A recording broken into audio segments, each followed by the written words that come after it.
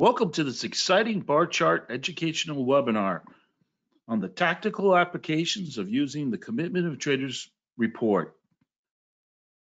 If you're a futures trader or an equities trader, the COT report can provide an invaluable insight into market trends, potential price movements, and market sentiment.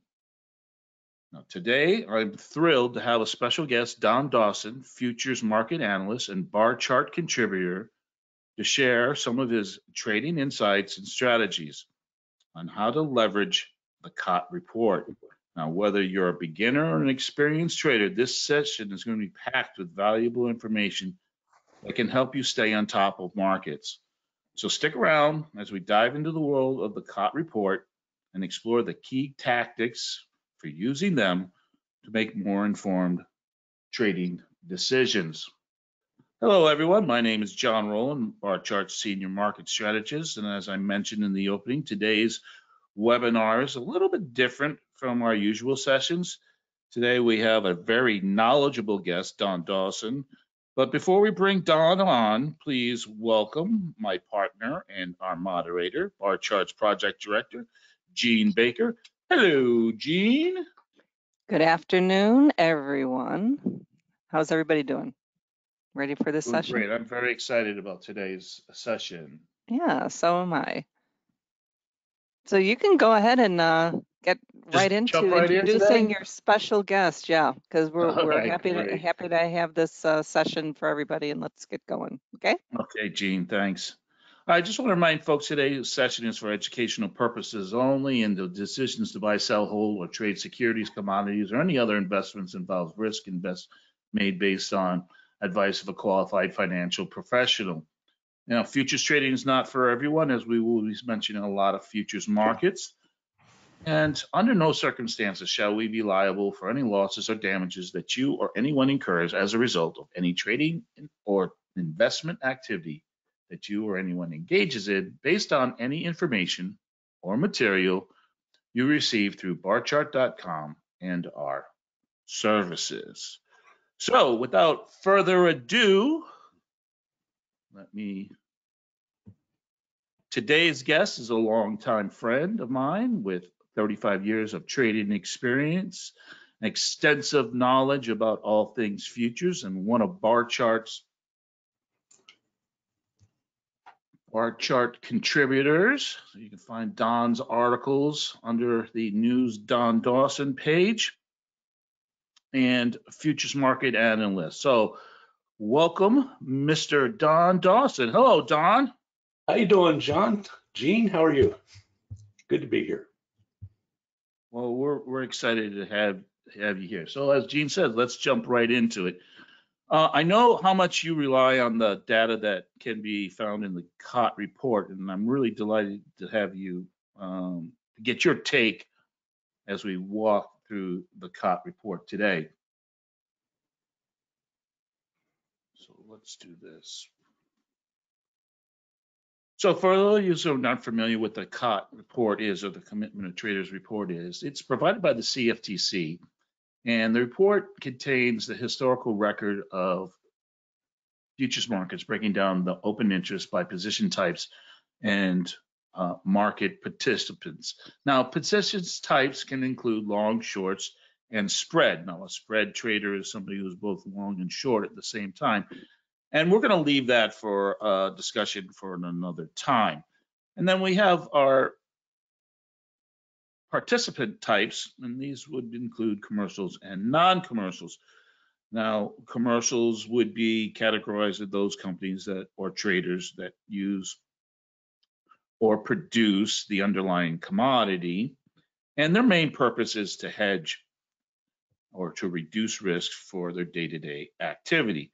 And non-commercials, which would be categorized as uh, traders or firms who are trying to profit from commodity price movement. Now, Don, is this a good assessment of how we categorize these folks? Yes, it, it sure is. And uh, you know, we, when we get ready to look at these uh, commercial entities and then also the non-commercials, uh, which are two different trading styles. You have your commercials who are basically they make the bottoms and make the tops in your markets, And then also the non-commercials, which is like managed money, hedge funds, commodity trading advisors, just examples. And those are trend followers by nature. So it's the trend followers who push prices up to producers to sell, and then they down trends push prices down for the processors to buy. So the function of the speculator in the market is to provide liquidity for both the selling commercial and the buying commercial. And it's through their trends is how that is done. So when we look at the, the commitment of traders report, why is it important to delineate between these two different uh, types? Now you sent along this slide, so maybe you can explain to that to us. Yeah, th this slide is very interesting because in the upper right corner, you can see, and let's just sort of say where you get this from, but the Commodity Futures Trading Commission releases this report every Friday afternoon at around uh, 3.30 Eastern time.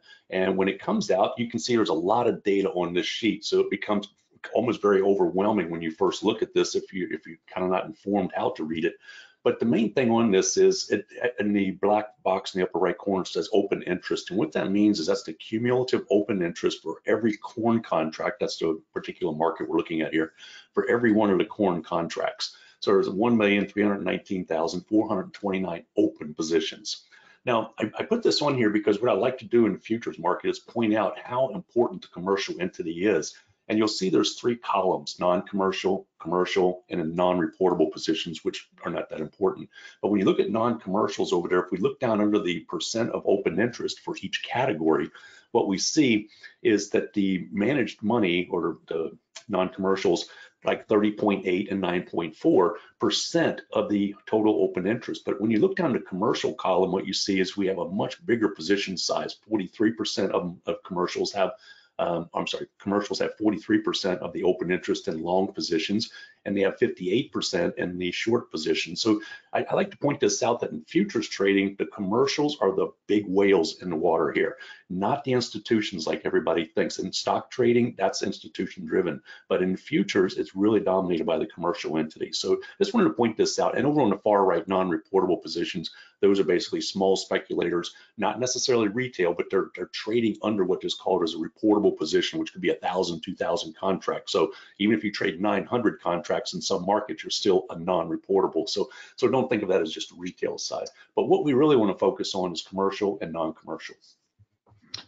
So what I, which is kind of neat about uh, Barchart is that slide that Don just told you. That is the slide of the the CFTC report.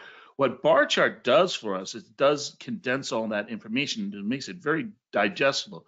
So first of all, let's just kind of re show you where we can find some of this information. First of all, here's our commitment and traders page, which is found under our futures page. And again, um, whoops, by accident there. What we can do is, again, there's a little bit more detail about like what Don just explained. What is an open interest? What is a reportable position? Uh, this difference between commercials and non-commercials and non-reportables. Now we're going to take a, a, little bit of a dive into uh, another type of report, which is called a disaggregate. We have two types of uh, commitment of trade. traders. We have something called a legacy, and we have something that's called a disaggregate. We're going to delineate between uh, those ones as well. And you can see here, you know, in the disaggregated, we're kind of more granulated. We talk about producers, merchants, processors, to users, and this is our commercials. These are the folks that are using futures markets to kind of basically um, hedge their day-to-day uh, economic activity. Swap dealers, uh, we're not going to go with a lot of detail about swap dealers.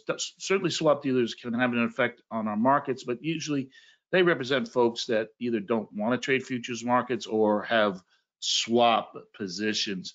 And then what Don was saying is our money managers are really our trend followers. So when we start to dive deeper into our commitment to traders report, we really want to kind of concentrate on these two categories, producers, merchants, processors, users, and our money managers.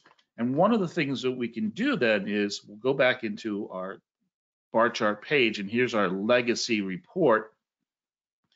And the legacy report really does divided into three categories. We're, we're going to talk about uh, our commercials, our large hedgers, and our non-commercials, our large speculators, but we also have our non-reportables. Again, something that we're not going to pay a lot of detail to. So we also um, can look at a very detailed report or a summary report. So let's start with the summary report. And here is kind of just as a big picture. So notice here for wheat, it says that our net, our large commercials, our large hedgers, their net position is 65,054. Now that means that if we looked at all the commercial positions that are out there, we'll have some that are long and some that are short. Notice we have a long positions of 139,000 and a short positions of 74,000 approximately. So if you look at the difference between the two of them, that would be uh, a positive 65,000. In other words, what we're seeing right here as a summary that in the wheat market, large hedgers are net long the market. And what we can also do is look over here and see where that value, that net position falls in a 52 week range. And that's going to become important to us when we start doing some trend analysis. So if I break this down into a detailed report, again, um, we're still in the legacy here. Notice here, wheat, we can see that what Barchart does, it takes all that information from the CFTD, CFTC and really kind of really makes it very digestible for us. And some of the things that we're going to start looking for in the commitment of traders report is when we see pri uh, the positions of these large traders, not only our commercial traders, but also our speculated trade speculators, when their positions get to what we call these 52 week highs and lows. Now there is something that we need to understand in terms of what a 52 week high represents or a 52 week low. So let me see if I can explain that to you. And Don, uh, jump in uh, if you want to say anything here. But first of all, let's look here. We can see on the wheat that we have a this green box which says 52 week high, which is telling us that at this point on this report that our large hedgers had the largest open interest position, which happens net be long 71,000, right, Don? That's exactly right. And what's interesting about this is typically the wheat market carries a net short position, meaning the producers are much more active at their hedging. This is a case here that po points at the processors of wheat, who's going to make flour, pastries, and everything. Maybe it's for Easter, who knows? But there's this a lot of demand from the processors in this, and, and this is unusual to see wheat at a, a net long position. And when we go a little bit deeper, when we did dive into wheat, we'll also discover that maybe this might be an indication to us that something greater is about to happen. But let's look at our um, non-commercials, our large speculators, and you can see at the same time our our large non-commercials, our large speculators, those as Don has mentioned, are trend followers or might be driving our trends. Their position is a negative 73,000. In other words, they have the largest 52 week low. Now, this remember your old fifth grade math you know, as a negative number gets larger, right? So this is telling us that this is the lowest negative number we've seen in terms of the largest negative number. In other words, the largest short position. So this is something that it can be different in other markets in terms of negative and positive. We'll look at that in a second. But again, what I just kind of want to reiterate here is that I can look at the legacy report and I can see who what their net positions of these two large uh, categories. And what we want to start looking for is when we get to these extremes, right? Right. And John, a good point to bring on this when we look at some charts here in a little bit is to notice that with this negative 73,000, which is a 52 week low, you're going to say, wow, that the price has really been down for a long time. And that's exactly why, because money managers are trend followers, and that's the exact pattern you'll see. And the commercials have been scaling into long positions as price was dropping. Right, so let's do that. Let's go to our chart. And I'm just gonna go right here from the chart. And again, I said to you that on the legacy report, there's really three categories. And you can see here, it says COT COT legacy. And if I click on that, we have our large commercials, our large speculators, and we have our small speculators. And so small speculators really don't matter in, in when we do this analysis. So what we're gonna do is we're just gonna take them off. We're gonna just turn this off on our chart here. And it's gonna make it a little bit easier for us um, to delineate between our two. So again, so I'm gonna leave it to you, Don, here. You wanna walk us through what we're seeing here? Sure. If you're looking back at the the red line being your commercials, the green line is going to be your managed money. And if you just look at the patterns on here, that if if the trends are down, price action is down, you'll see the green line sloping down as well. And then typically the red line will be sloping up as the market goes down. And what that is just telling you is that the uh, managed money is are trend followers and they're pushing prices down, selling, selling, selling. And then it's uh, the commercials, they scale into positions by dollar cost averaging into the market. So by the time they, they're absorbing that demand as it comes, or I'm sorry, supply as it comes down. And once they absorb that supply, then the market tends to turn and go up. So, and you can see that the red line is at a high point on that entire chart I think that's on a three-year window. But if we had a, a one year on there and you look back to the left, you're that's like at the highest peak in the last 52 weeks, right? And the green is at the lowest trough in the last 52 weeks, which is pretty significant.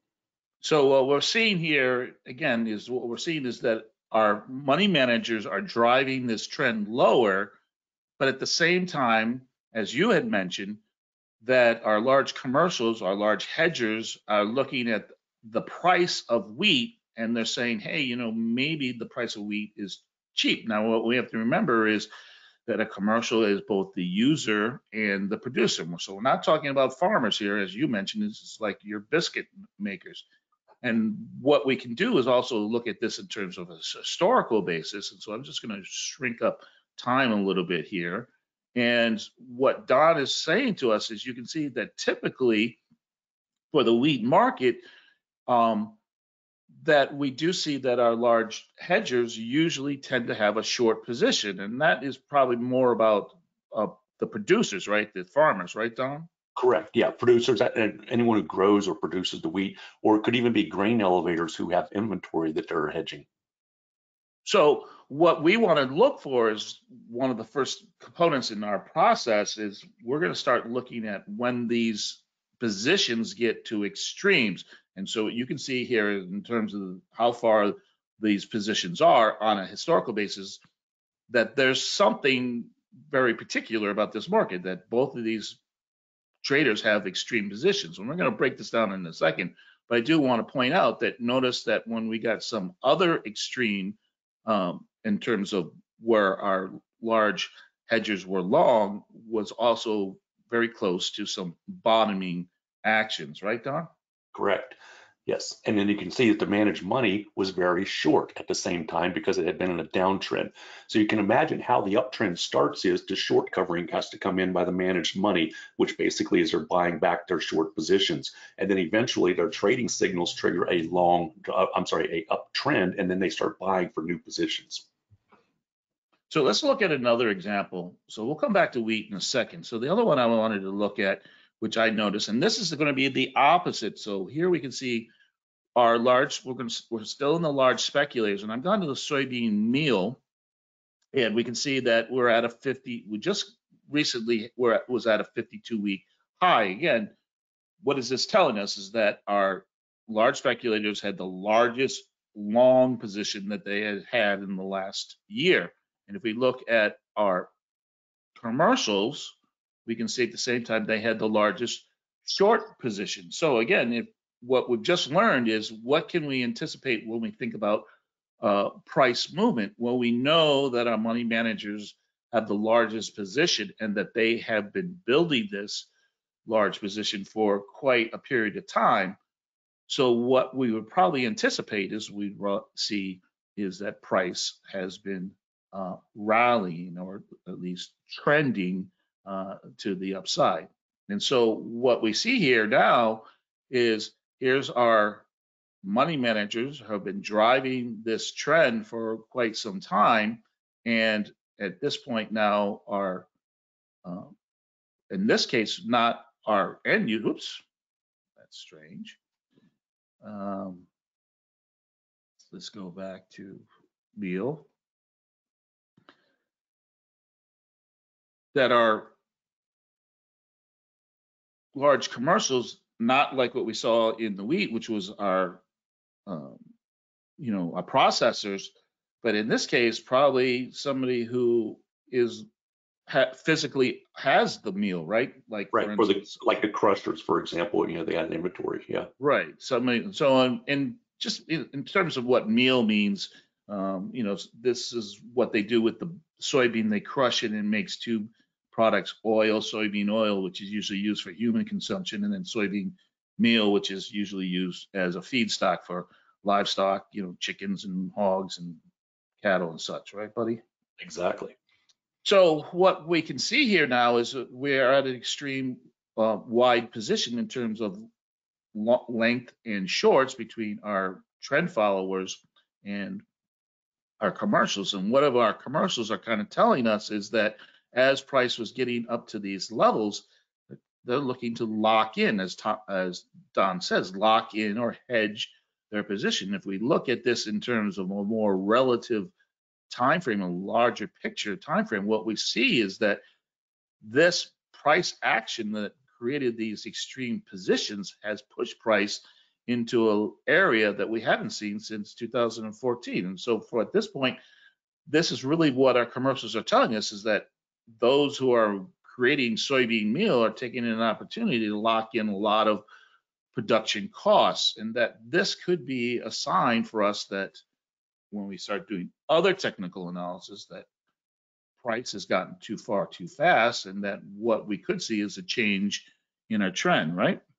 Exactly. And if you look, that was an all-time high back in 2012 when we had, it was like the worst drought in 50 years, but that's an all-time high on soybean meals. So you can see when we get back up to that area, the commercials, you know, they, they made that high back there before. If you look underneath of 2012, you'll see they were very short at that time. So we know commercials made that high. And now we're back up in that same region and here they are short again. So they like that area for selling.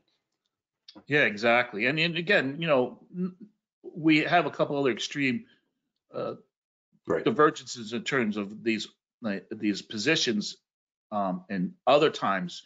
And you know, the prices aren't as high as they are currently are, but they certainly were.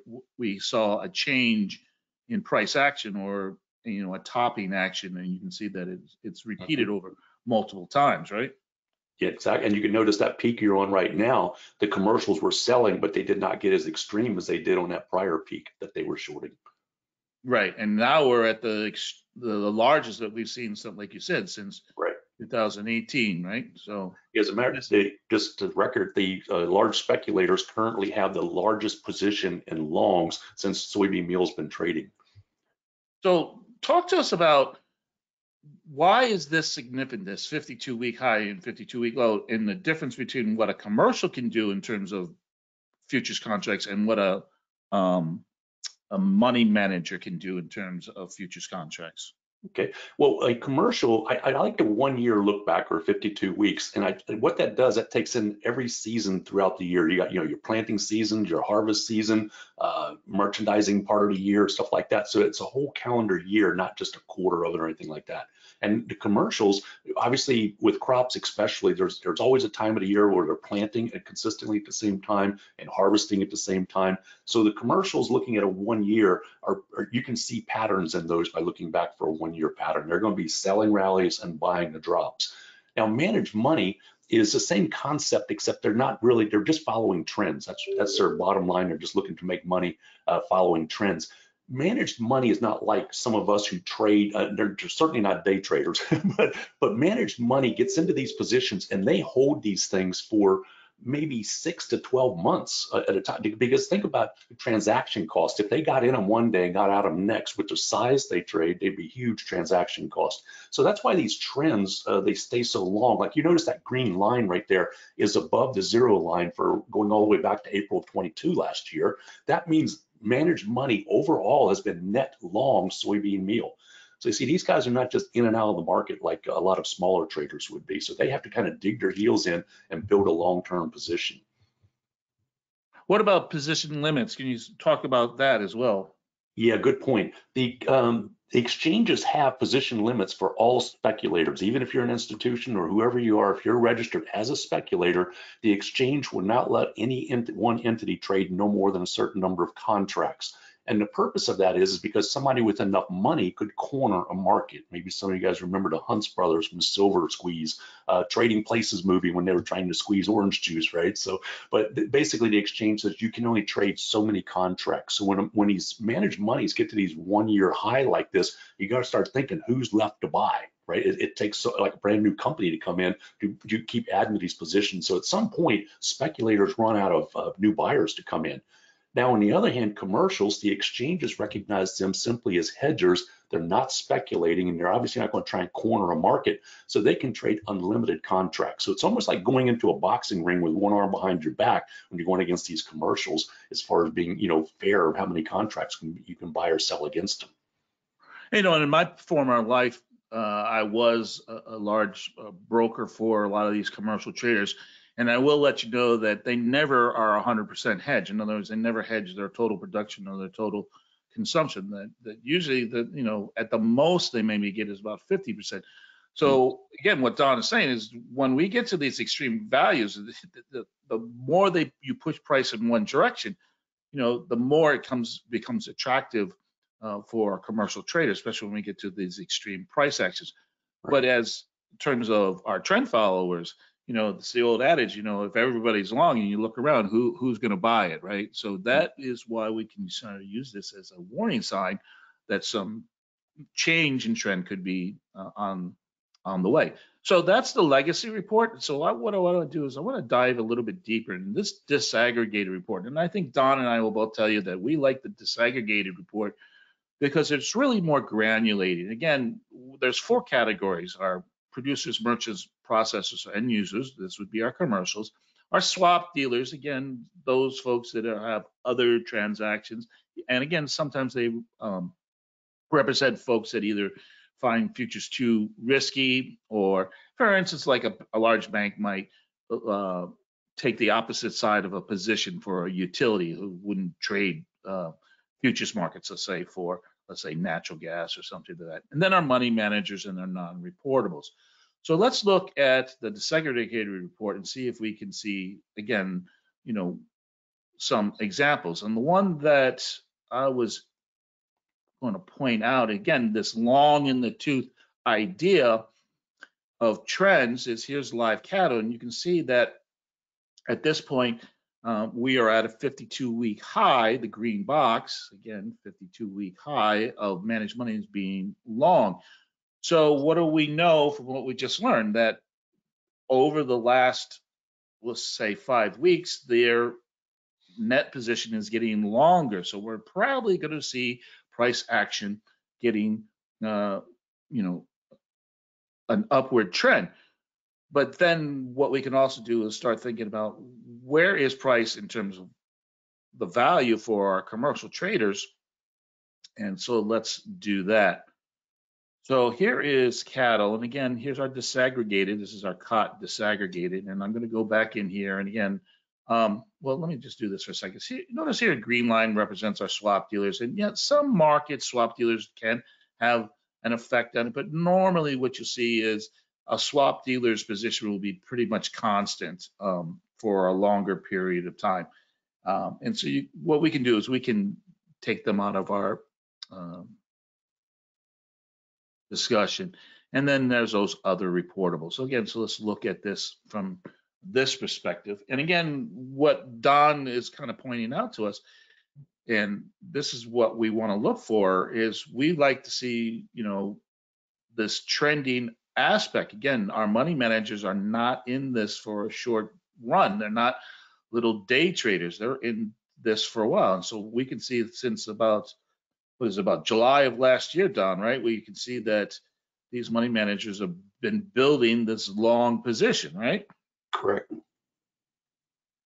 And then if we look at where price currently is, now I've created this red box here. If we look at this in terms of historical perspective, well, what we're now seeing in the live cattle market is that this trend that has been started since about um, what was that about July of last year has pushed price into a very high price level, historical high price level, and this could be an indication to us that you know at this point our price of cattle is probably getting probably a little bit long in the tooth. So what would you take from this um, this chart, Don? Yeah, it's exactly right. Your your red line or is, is representing an all-time high in uh, live cattle. So you can see this market has moved up pretty much without a decent correction since last year. And it's just, it ran out of gas up here. I mean, managed money again can only buy so many contracts. So when you have a market that comes into something like all-time highs or even all-time lows uh, in a market, at, at that point, that's a good place to be looking for exhaustion because they, they're probably overextended in their positions uh, and probably maxing out their positions. So who's left to buy in this case? And, uh, and then you tie in something like seasonality up here. This is the time of year where it, that definitely price will start to fall during this period. So that all kind of coincides as well. And then you see the commercials who are aggressively shorting this market up here. And so this would be somebody who's got, uh, it could be a feedlot who has cattle in it. Uh, it could be a farmer, rancher, somebody like that uh, who just wants to hedge these prices. Because if they feel like, man, you know, come April or I'm sorry, come fall when I want to sell my cattle, we might not be up here. So they're trying to lock these high prices in today. So what can we take away from this in terms of, let's say we now we see a bit of a price correction, and like you said, they're in for this for a long run. Now, what we do see is that we're not at an extreme high position in terms of historical, in terms of the length or the short positions of our two large players. Right. So how can we maybe use this as looking for an opportunity in terms of re-engaging this trend? That you could do that. It, uh, you what you want to do is just see some of this pressure come off of the managed money for you know maybe a few weeks of profit taking, coming down into a significant support area. I mean, just glancing at that, when we look back to fact January 22, there's a peak right there, and that's an old resistance. It could be possibly turned into a support area, and you can see we when we gapped up over it there, pulled back and touched it and took off again. So there's an area if you were looking to get long, there's a possibility of that because by then the managed money is going to have less bullish positions in there, and now they're you know meaning they've liquidated some of their longs, so there could be some new money coming in as the market pulls back. Because remember, these guys are long, long-term traders, are not looking for you know scalping trades. Right. So I see this peak high, and then if we do this from a technical analysis, right, we get a little bit of a gap up. Now this might be a rollover gap. But what I do see here is this is also a jump where we see a lot of new length comes in on this one week, this mm-hmm. impulse. So this impulse here also corresponds where we, you know, we kind of gapped up higher, pulled back, and then broke through this new swing high. So, you know, in terms of maybe as if I wanted to tree, look at an opportunity to re uh, establish this in, or re-engage this longer trend, you know, that I think that would be a good level as well. What do you think about that? Yeah. No, exactly. I, I, it's a good point to bring up. And and you know the the thing is the managed money. When you see an upsloping blue line like that for the managed money, as long as they're not at a 52 week extreme, meaning a 52 week high in that position or a 52 week low in that position, they are very smart people and they've got a lot of algorithm style trades, but they're trend followers. So you can use that for an intermediate to a longer term trend analysis uh, that, you know, knowing that you're trading with the managed money. But it's when it gets those 52 week highs and lows, that's when you got to step back and go like, whoa, this is getting a little too expensive or getting, you know, way oversold. I shouldn't be chasing the market up here. And, and you got to realize there's following a trend, there's certain times you want to get in it, and there's other times you just want to let it wait, come back and you know correct so you get into it because you don't want to be buying the top up here. Right, exactly. All right, so let's do this. Let's go back to my slides for a second. And so how can we apply this COT to our trading analysis? So what we did is first we delineated, we said we want to look at these two primary group, our traders, our, our commercials and our non-commercials, and who could be leading these market trends. But we looked at um, our 52 week highs, these uh, historical long positions or historical short positions as potential signals of trend changes. And we looked at that as well.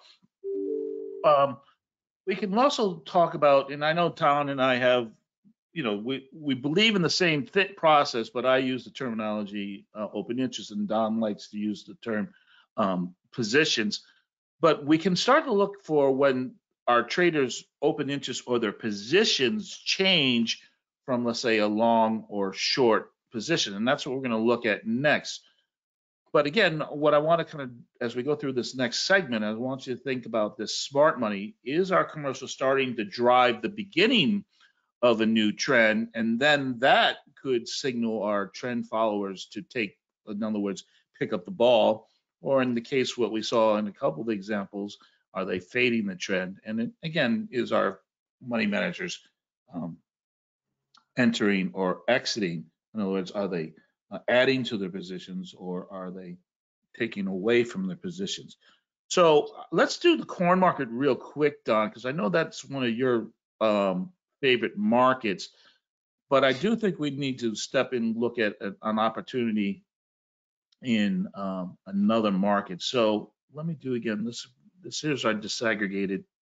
Mhm. Let me take off our two. So If you- walk us through what kind of what you're seeing here, because what I see in here is that I see two large players are liquidating their positions that, you know, exiting their trades, and I see a lot of a sideways action in the corn market. Hmm Yep, and you can see we've gone down. We've got like a negative sixty thousand right now on managed money as of last week's report. And while that seems bearish, the bullishness in the way the commercials have been building uh, this long-term position down here, I think if you can put that on a one-year look back instead of three, uh, up. There we go. And so what we can see is this is the last 52 weeks, and the key on this is looking back to the left and saying, where's the current price right now? Let's say for commercials and they're minus 199. I say price, I apologize. I mean the uh, scale, but the commercials have a net short of 199,000 uh, positions. But what that means is they're they're still net short, but they still have that's the least amount of bearish bets they've had in the past year. And then as we looked at the managed money, they were just the opposite. They're still bullish overall, but they have the least amount of long positions in the market currently as well. So Let me- we're let me still put that up. So our, the webpage updated and knocked me off of this for a second. Let's do it again.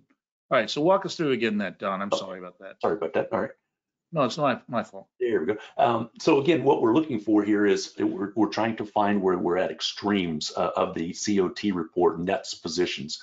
As you can see, the red bar down there is at negative 199. So that's at the highest point, meaning the least bearish, because they're still net short because they got 199,000 more shorts than longs, but they're, they're the least bearish they have been than at any time in the last 52 weeks.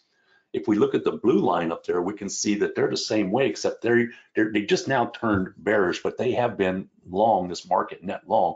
And what we're going to see on this is the shortest position, or least, uh, if you want to call it least bullish, they have been in the last 52 weeks. We have to be careful with this because COT reports are not that precise that if we get one week where we just kind of dip underneath of this, it's nothing to come back next week and like that, see how we have an uptick on price action. It wouldn't surprise me this week to see an uptick in there that, you know, somebody else is, you know, somebody's in here buying the corn now. Um, I'm, you know, I'm, I'm betting once the commercials down here, but if the managed money starts to see buying coming in, their trend following systems won't be long behind to, to get long that market again. So we got to be careful not to say, oh, one week we turned down. So we want to see, you know, some more confirmation uh, that the managed money is definitely going to be net short. Which is a good point that, um, that it's a more of, it's not a timing tool, right? It's, we kind of want to let this process go through. But this is where I want to talk about this trickiness of these negative numbers when we talk about 52 week highs.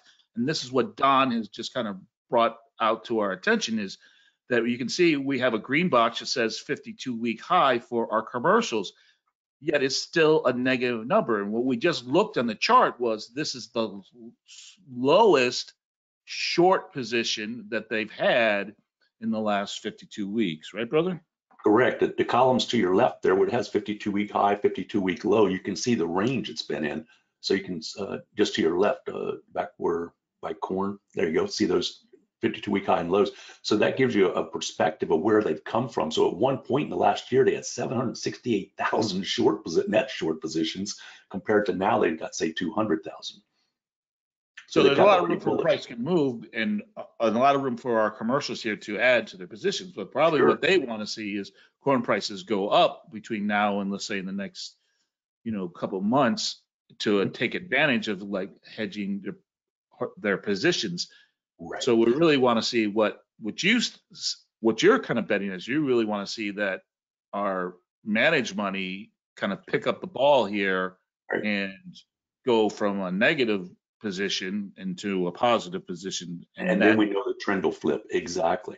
But you know, Right. with the- with the commercials wanting the price to go up, remember there's two types. One's a producer who sells, there's a processor who buys. But remember, we're, we're not getting new crop until next December for the corn market, right? So everything now is old crop. So there could be people coming into the market now who need to buy, whether you're an ethanol producer livestock feeder, because remember, there's not a lot of grass growing anywhere yet, so it's still got to feed some livestock um, and some human consumption. But another big thing is ex- exports, right? So you got China coming back online, so that could be part of that buying right now.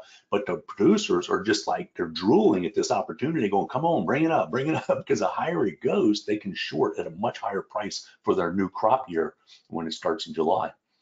Or not. Right, so let's talk about this inflection where we go from a long position to a short position. We're, we're, sit- what we're waiting for that setup in corn, but here we go back to coffee. You can see that. I Hmm. just want to let's show you again. Here's my money managers, our trend followers, right, or our trend creators. And here we can see in coffee is, you know, back in early February, they were net short and their net short position started to decrease. So how does a net short uh, decrease their position? Well, they buy. And then they went from being a short position uh, to a long position. So what we're seeing here is a change in trend in these money managers positions. So what we probably want to see, this might be the beginning of a change in trend for coffee. So let's go to the coffee chart. And again, I'm still in the disaggregated and I'm going to turn off my swap dealers and my other reportables. And we said that that started about, uh, you know, back in February. And here we are, here's January, February. And this is where we can see that they went from being a short position to starting to buy back their shorts. Mhm. Well, what happened with price, right? Price got above a level of resistance. So anybody who had been short here is now right under pain, right, Don? And then Right. what we saw is that price continue to go higher as these trend followers now pick up the ball and and, and run with it, right? Correct, exactly. Yep. So I think that's a really good example of looking for these changes from a net long to a net short as potential opportunities to find a change in our trend. Now, if we go back a little bit um, farther again, you know, notice where we got these peak extreme positions in terms of a 52 week or uh, historical level and those peaking uh, price actions. But notice that the price action fell as they were liquidating and our, in this case, our commercials were actually buying, you know, the whole way down or buying back their shorts. And that when they got to, uh, was roughly around the neg, the zero line, that's kind of where the market has started to go sideways. So this is a really another good tool in terms of um, as a trader, when we kind of get these guys are just flopping back and forth, That's also kind of an indication to us that, you know, maybe this is a time we sit out, sit on the sidelines. That's a good Tom? point. Very good point. And if you'll notice where we are right now, how eh, some traders are familiar with something called Bollinger Bands. And remember when they talk about with Bollinger, and these are not Bollinger Bands, I'm just saying to give you sort of an analogy here. But when Bollinger Bands contract with each other, there's no volatility. So there's really no big moves or anything. So people tend to stay away from that market. But when the Bollinger Bands begin to spread, that's when the opportunities for price movement come in. And look what we've done, you know, for the last umpteen was at January, basically. Uh, going back to looking at that, we've been widening out. So the commercials and the managed money, they have a difference of opinion here.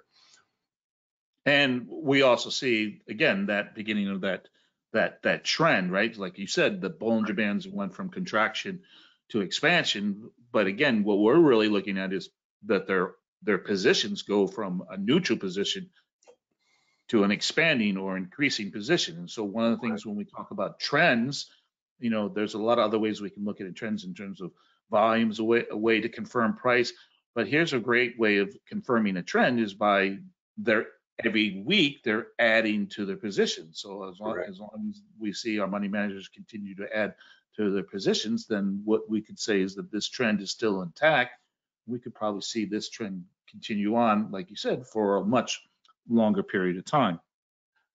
Yep. And if you if you're looking at this, some of your viewers might be wondering, but if you'll notice there, the it's like the bar makes a move up and then it goes sideways for multiple days and then goes up again.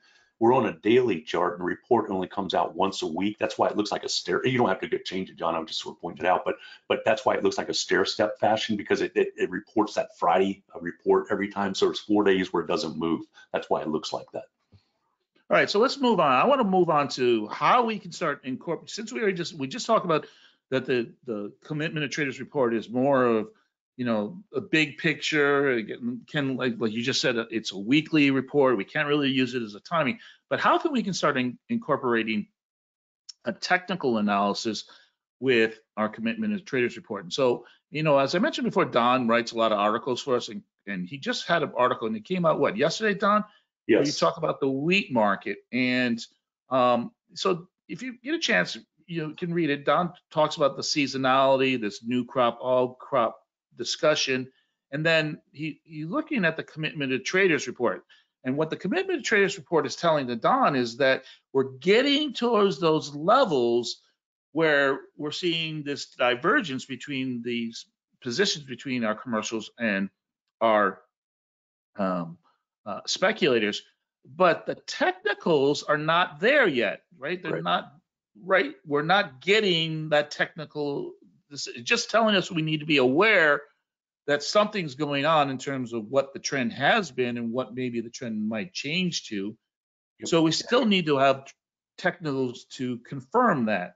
Yes, and I was using the head and shoulder pattern there. I thought that was, you know, one most people are familiar with, but it has to break that neckline in order to give you a verification. What you're looking for is a confirmation to confirm prices turning up. So as you can see today, we actually went down, made a new low. So now we can start looking for a possible double bottom down here. If we come back up and take that neckline out up there around that 705, or to your right there, John, the next little hump to your right.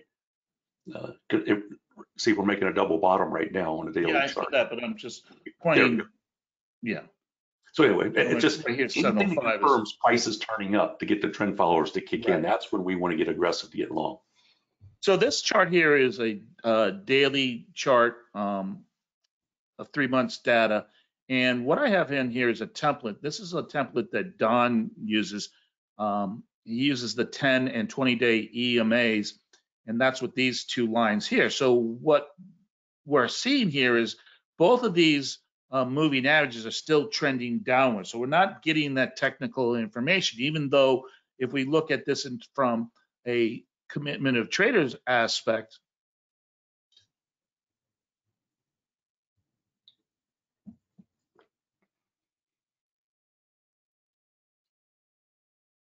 We're getting towards those extremes, which we have mentioned before, right? Mm-hmm. exactly. So, go ahead.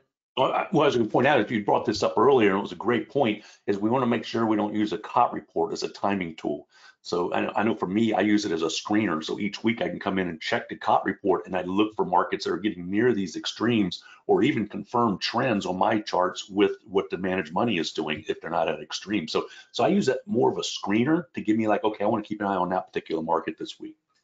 But let's look at what we see. We see that our our trend followers have the one of the largest short position they've had for the last past what three years, right? And what we Yeah. see in the wheat is that we see our wheat traders have a positive position or long positions, which we typically, you know, again, we typically don't see. Yep. So that's kind of alerting you, you says in screening you, is that this trend might be a little bit long in the turf, and there might be an opportunity to go long the wheat, but the technicals aren't there yet, right? Right. Yeah, but with the aggressive commercial buying down here, it's just a matter of the market could go sideways for a while and then eventually it'll start upticking. And then once the Don trend uses follows, the, the 10 and 20. So Barchart has what we call as our trader's guide, our trading guide, and that goes to here. It, you can find it under our future section. Here's our trading guide, and we use the 9 and 18. So if you think about it, it's, it's roughly the same what Don is looking at, and this is a trading system that basically talks about when these moving averages cross, I can create a buy or sell signal. And so for, you can see for wheat right now, we're still in the sell signal. So if we're looking for an opportunity to go long wheat, and now that the commitment of traders report is telling us we're getting a little bit long in the tooth. We still need to wait for that technical indicator. In other words, we'll probably want to wait until this futures trading guide turns to a buy signal. Now, I do notice that here, this trend is a little bit on the weak side, and that could be a sign of momentum is changing uh, for uh, in the near term. Now, there's other technical tools that we can use as a trader, and some of them you might be familiar with, and Don uh, mentioned Bollinger Bands. But let me come back into this template here, and I have the 9 and 18 moving average. Let me put that on here, and I also have the Bollinger Bands on it as well. So let's just look at this from the Bollinger Band perspective. What we see is our Bollinger Bands are contracting. That's usually a sign of market is moving towards a sideways action. And we have just kind of gotten outside the Bollinger Band, which is also another indication that if the Bollinger Bands break out, then we could see a continuation of trend. But as since Bollinger Bands are contracting, it's probably telling us the market is going to consolidate here for a, a, a bit of a time.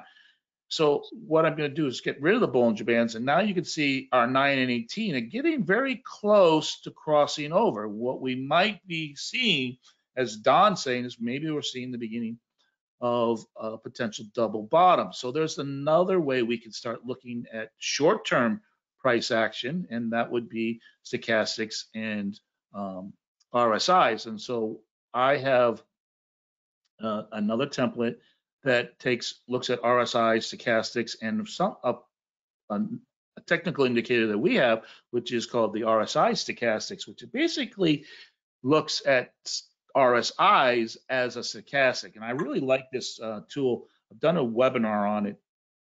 And Don, you said you watched the webinar. You kind of liked how uh, how I explained it, and how we can use it. I like how it smoothed things out. It, it wasn't so erratic in price action using either RSI or stochastics by itself.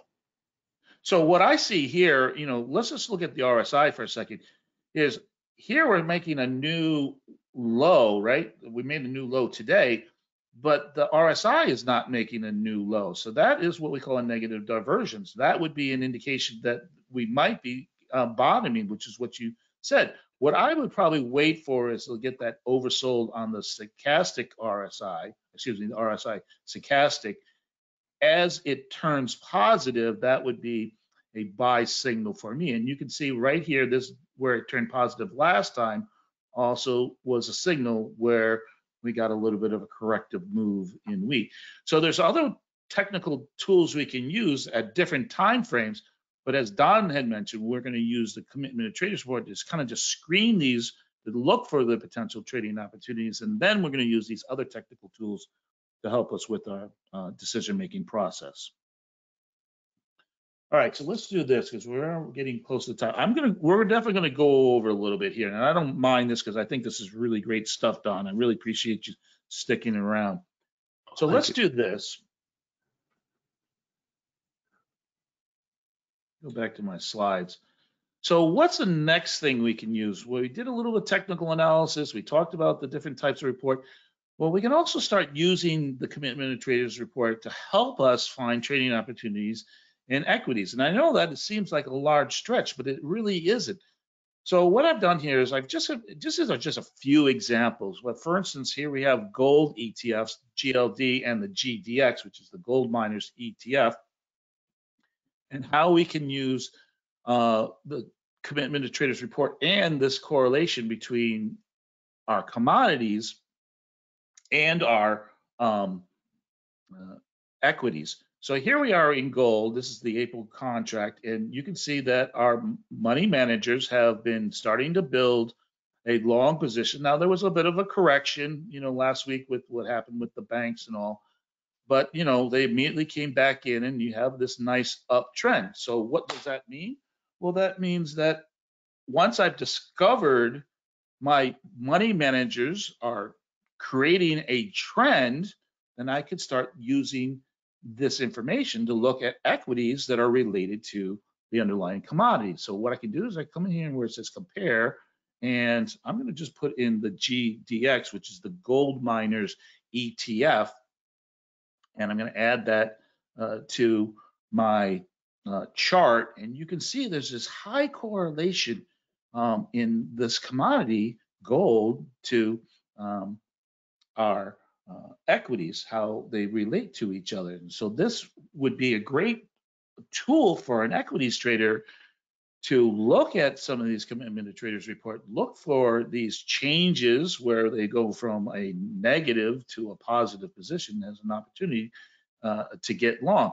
Now, what I will show you too is when we do a comparison, sometimes um, the comparison um, isn't, is, is, isn't as clear. So what you can do is to change it into a percentage.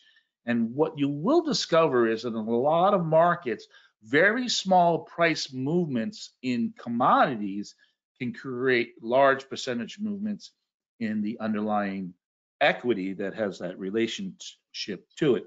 So let me give you um, a couple other examples here. So Don, I want to go to the grain complex. So you want to talk about that for a second in terms of some of these ETFs and why I kind of tee this up? Sure. You know, the, the, the ETFs, exchange traded funds, they, they basically, when you get one like corn or gold, GLD, they actually have the physical commodity is what they're trading, or I'm sorry, the contracts, futures contracts themselves. When you're doing something like the GDX, that could be miners, those are companies. So they're not directly um, one-to-one correlation with the physical commodity. Uh, you think about it, I mean, if a company has got bad earnings, bad management, or whatever it might be, then that could be bearish, but the commodity could still be going up. So, but when you do ETFs like corn or USO for oil, those are directly related to the futures market itself. So they tend to be highly correlated. One of the things you run into though is something called backwardation and uh, contango, which get you know a little complicated here. But but if you the uh, backwardation is simply when the near months are priced higher than the back months, there's a high demand for that commodity. Those are the best times when you want to use a commodity ETF to purchase those because then you start seeing those percentage gains like John just showed you on the gold chart. You can get some really big bangs for your buck on these ETFs when the uh, commodity is in backwardation. But if you're doing a, a market that's in what they call contango and the back months are all uh, higher priced, what that means is every time that the ETF has to roll those futures positions, because they use those to hedge them with, they have to buy it at a higher price. So they can't, the change that they're getting every time there's a rollover, they actually lose money on. So the ETF starts to underperform the percentage wise what the commodity is doing. So it, do a little bit more research on backwardation if you decide you want to do the ETFs. But what John's bringing up here, talking about the companies of being able to use those, the backwardation or contango doesn't really apply to that. Uh, however, if you do find a market that is in backwardation, those tend to have strong bull markets in them, but you have to be careful because at some point they, they no longer stay backwardation, they turn back to contango, but it takes a while to do it.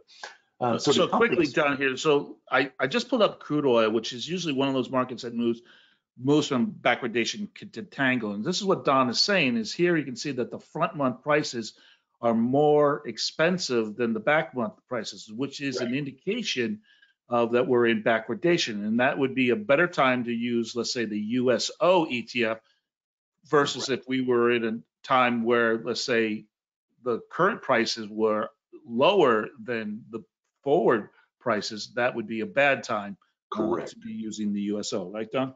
That's exactly right. Okay, so let's do this. Let's go to soybean real quick.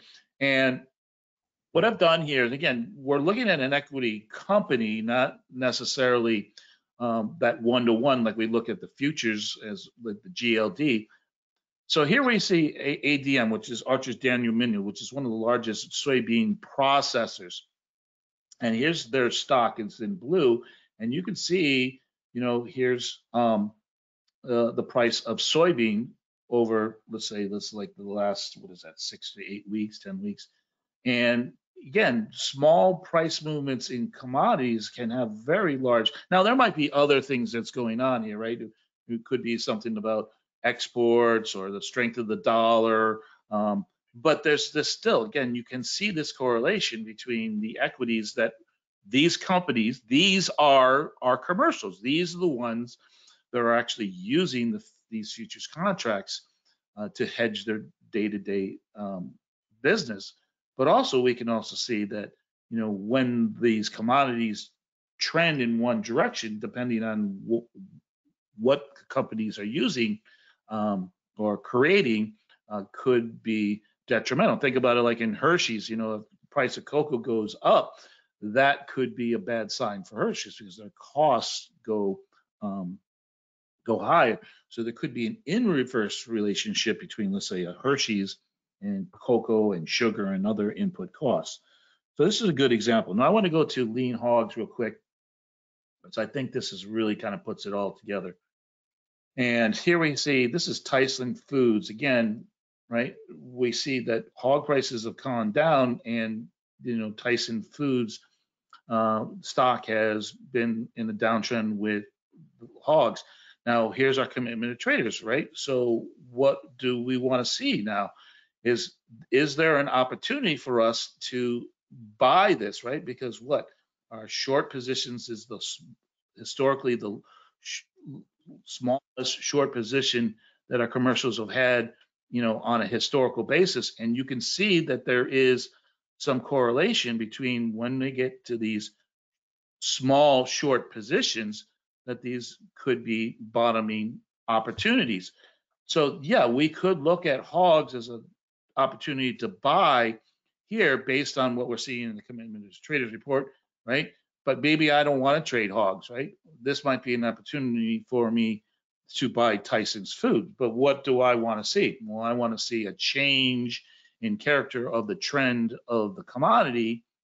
In this case, you know, we're, we're definitely in a downtrend, right? Wait for that. Um, you know, our bands are expanding like what Don had said, and, you know, we're still uh, downsloping moving averages. So what we need to do is wait patiently for the hog prices to create a new buy signal in our futures trading guide. And that might be permission for you to step back into, let's say, equities, in this case, Tyson Foods. Okay. So let's do this. I know I'm a little bit over and I apologize that we do have some good questions, Don. So let me run through them real quick and then we'll do some takeaways and we'll get out of here. So I know the Fed is about to speak. Uh, so the question um, Ron asks is, does total net positions include all positions across expiration dates? Do you want to take that one, Don? Okay, so total net, yes, it does. That, that- you're right. It's the cumulative contracts of the commodity. So there's a question is, um, if these traders are into this for a long time and futures markets have uh, expiration dates, right? They don't have, you know, they don't last forever. How can a trader hold on a position for a long time? Well, again, we talked about spread traders. So a lot of times what a lot of these traders will do is they might be long, initially long the market, but as they get to close to an expiration, they'll do a spread. In other words, they will sell the contract that they were in and buy uh, the next contract in the cycle of the available market. So how can they continue to hold a position for longer periods of times? Is they can roll uh, to greater futures contracts. But the other thing, when I showed you that example in the crude oil market, is that you know a lot of traders think about just the front month or the spot month, you know, the currently active trading month. But in futures markets, there are many markets, especially grains and um, energies, where we can trade out multiple years. And so a commercial trader, or excuse me, uh, a, a long time speculator could be buying contract months, like Don says, they can purchase uh, a, a futures contract that is six months into the futures. You know, you look at, um, let's look at corn for a second. Uh, you know, currently we're in, I think it's the May contract, right, Don? Mhm. And if I go to futures prices here for corn, and I look at open interest here, this is again looking at net positions. Here you see December, you know, that is that new crop that Don is talking about. We already see 260,000 open interest in that contract. So that tells us that there are traders who are already starting to plan on picking a trend or making their bets based on these contracts that are what? This is what, six months, eight months away before we get Yep. to them? Mhm. All right. Anything you want to add to that, bro? No, they, they're just, they're macro uh, traders, they're, or investors, if you will. I, I don't want to use the investors in futures, but yeah, they're macro traders. They're really looking at the very big pictures. So Tom Astor says, he sees says when the commercials and speculators positions diverge, this price moves up or depends on the examples we showed. Um, and when they're, when they, when they converge, that price moves down. So it's not necessarily that, Tom, but it is definitely that I think it's important that you recognize that as price, as these positions diverge, that price starts to move. And as they come together, price starts to move. Again, those those trends, a strong trend as they diverge and a weak trend as they converge. Um, all right, so just some geopolitical questions. Wayne, I'll answer that. Come, come in Friday, Wayne, and I'll answer that question. Um, all right, so I think we got, a lot- if I didn't get all to your questions, I see a lot of other great questions, so we are running on a little bit of time. Um, you know, send your questions to bar, support at barchart.com and, and I'll try to get, get to them or they'll pass them along to me. So let's do a- one more thing. Let's do a little takeaway and then Don, I'll get, let you uh, go for today. Okay. All right, so takeaway. So the commitment report is not a timing tool. Instead, it's better used as an insight into open interest. But again, what we talked about is that open interest is a way to look at long and short positions. Again, if the COT is a positive, uh, that is a long position. And if it's a negative, it's a short position.